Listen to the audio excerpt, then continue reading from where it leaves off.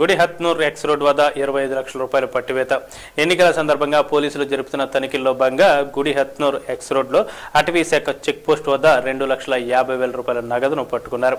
మహారాష్ట్ర యువత్నా జిల్లా నుండి కరీంనగర్కు గ్రానైట్ కొనుగోలు కోసం సొమ్మును తీసుకెళ్తున్నట్లుగా సంబంధిత వ్యక్తులు చెబుతున్నారు. పట్టుకున్న నగదుకు సంబంధిత సరైన ఆధార పత్రాలు లేని కారణంగా నగదును సీజ్ చేసినట్లు అధికారులు చెప్పారు. ఈ తనిఖీలు Gudihatnoor EPRD Lingaiah circle inspector Satish Kumar Gudihatnoor SI Ram Goud తదితరులు పాల్గొన్నారు.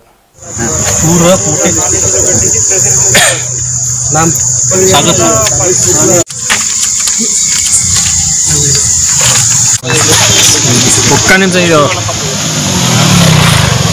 నేను చెప్తున్నా వాట్సాప్లో పెడతా. లాస్ట్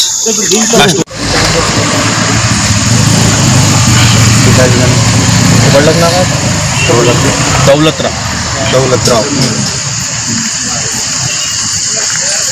उम्र क्या है उनका? उम्र सत्तालीस फोर्टी कैस्ट कुंज